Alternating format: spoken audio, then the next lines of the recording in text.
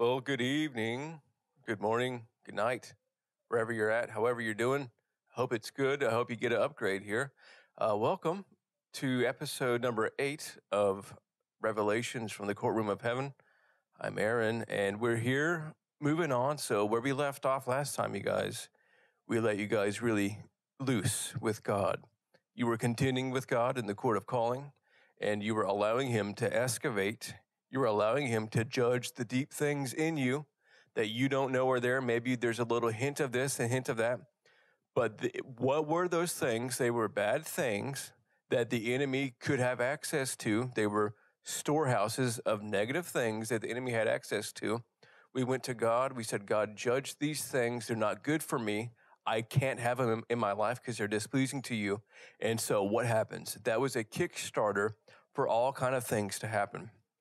Now, you may notice when you get God to judge on a matter that's in your soul, he may start rerouting your life. He may start bringing these things up f- from your soul, showing you them, and then you get to deal with them. So it's kind of like know what you're asking for, but know that God will make a quick work if you surrender and are there with him. Now, behind all those things, as we talked about, there's demonic rights that were being destroyed. When you get God to judge on your behalf, there's all kind of things that are put in motion. All kind of verdicts from his courts. They don't only go into your life, they go into hell and they go into the enemy's camp. And I want to tell you guys about a court called the Court of Meeting. The Court of Meeting. So the Court of Calling, you and God judging the things in your heart. The Court of Meeting, you bring verdicts that God, that God has already rendered in your favor, such as from the court of calling. You said, God, judge this thing. So God's like, all right, I'm judging this thing and I'm going to move heaven and earth to remove this from your life. You bring a verdict like that into the court of meeting and you command the enemy to be brought into the court and any demon behind, let's say there's, there's anxiety that you know is in you and fear. And you know that God's judging that. And how do you know? Well, you, you lean on God, you let him tell you, and you when God judges something, it's going to become apparent. When it's first something that's hidden in you, that you say, God, all right, get this out. I don't even know the extent of what's in me. When He starts judging that thing, you're going to identify it and you have the Holy Spirit in you that's talking to you. So that's how you know. So let's say that God is judging fear and anxiety. So you can summon the spirits, all spirits, behind fear, those assignments, and anxiety, all spirits under those assignments, under that kind of umbrella of darkness, you can say, I want them in the court, and then you lay down the law. So the court of meeting, it's not a place where you're contending against the devil so much. It's a place where you're putting God's mandates in place and telling the enemy, this is what you're going to do. This is not what you're going to do. You put him in his place and you go boom, boom, boom. The mandate of God says this, says that. God has not given me a spirit of fear, but a power, of love, and a sound mind. God says that I'm, I am a righteous man. God says that I'm a soldier. God says that I'm a, a man of valor. You know, you arm yourself with all these prophetic words and then you use them against that spirit.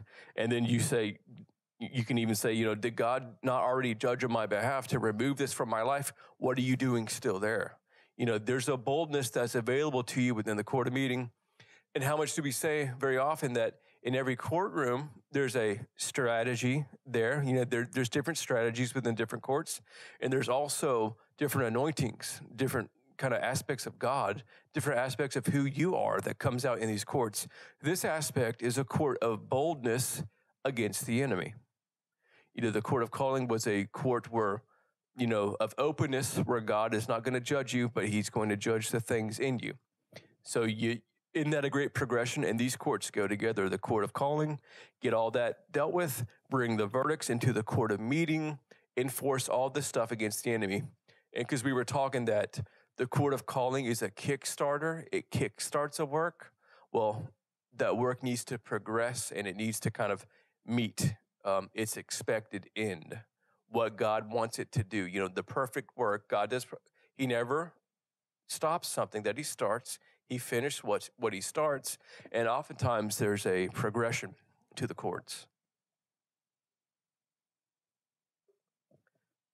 so, with the schedule we have with this little tour, uh, you come to the understanding that, that God's moving on your behalf. He's judging the enemy. And so, an understanding of the courts, you know, so why do we want to use them? Why do we want to utilize them? We'll consider this. In Colossians 1, starting at verse 12, Paul is praying for the church at um, Colossae. And he's writing, and this is in the book of Colossians, he's saying, Paul's praying this over the people. He's saying, Giving thanks to the Father who has qualified us to be partakers of the inheritance of the saints in the light verse 13 of Colossians 1 He has delivered us from the power of darkness and conveyed us into the kingdom of the Son of His love. So Paul's saying God did this. God delivered us, church, from the power of darkness and conveyed us, brought us in, transitioned us into the kingdom of heaven. So we, do we need to enforce that? Is it done, set, and that's all we have to do? Well, we have to enforce it. We have to put our jurisdiction in place. We have to contend for certain things to get all of the darkness out and to bring all things into the kingdom of light. And we do this by the use of, of courts. Think about what we did within the court of calling. You know, we're talking about Colossians 1:13, he has delivered us from the power of darkness and conveyed us into the kingdom of the Son of His love. Well, what do we do? We first go into the court of calling. We petition God. God, judge these things in me. Show me what's in me. We work with God there. We linger there. We allow this work to take place. God judges something. He says, okay, I'm going to judge that darkness. I'm going to bring my light into you. I need to remove this darkness, and you're all for it. So am I. So God brings that to pass. We take that work, go into the court of meeting, and put all of that against the any enemy that may be in us or working outside of us to keep these dark things in us. Because do you know that an enemy can be in you? An enemy can be on the outside of you constantly playing what's outside from what's inside causing you to be a mess stirring you up. So we need to eliminate you know what's in you and also what's outside what's outside is what's linked to other parts of the kingdom of darkness like right now, we're in a time of great strategy to allow for a complete perfect work to take place. That includes getting whatever's in you out, exposing it to the light, have, having the kingdom of heaven and angels and everything deal with whatever's related to that. Wherever it links, wherever it goes, we want all those things. So that's why you can, like when I was talking earlier, if you're dealing with fear and anxiety, you could bring every kingdom every demonic assignment, everything that's related and linked to that into the court to receive those verdicts. And when we do that, when we force the enemy to get sentenced and judged, that's when we see real breakthrough. And that's and the enemy can't run from that because he gets mandates from God put on him. And then that's where our breakthrough is. So there's enemies on the outside, there's enemies on the inside. How, how did they get these positions?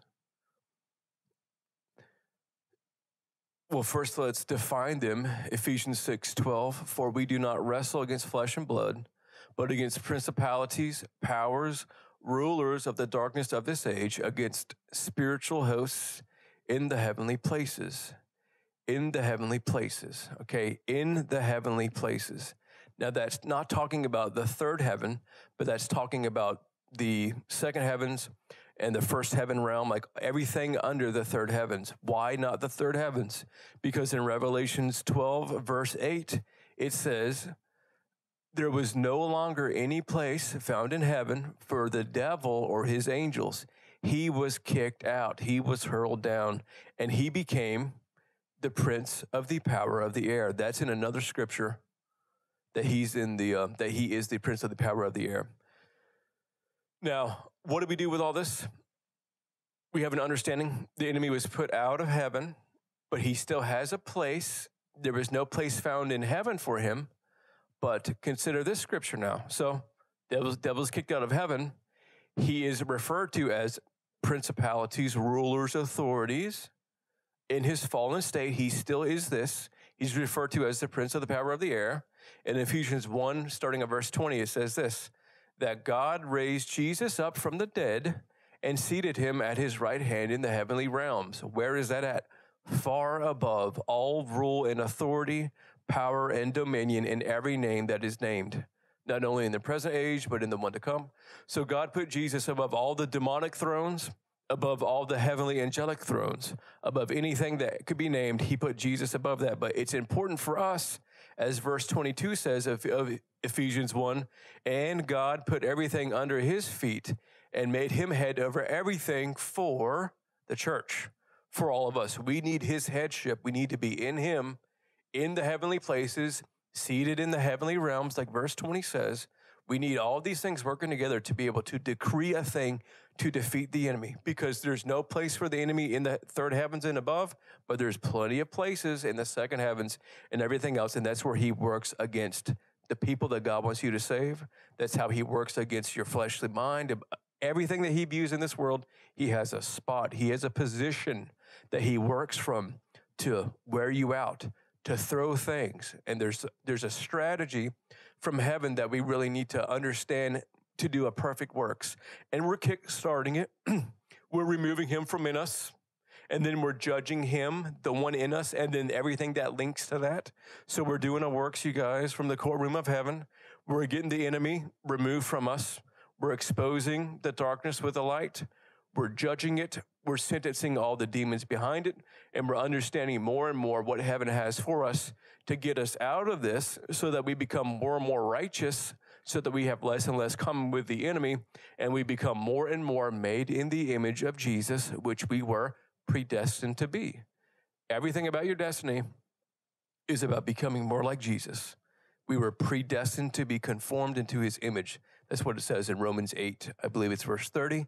That's it. That kickstarts. That's what the whole justification process is all about becoming more like Jesus. But in order to do that, we need to kick the devil out of our lives because they are opposite. They put stuff in you to make you less like Jesus because they what?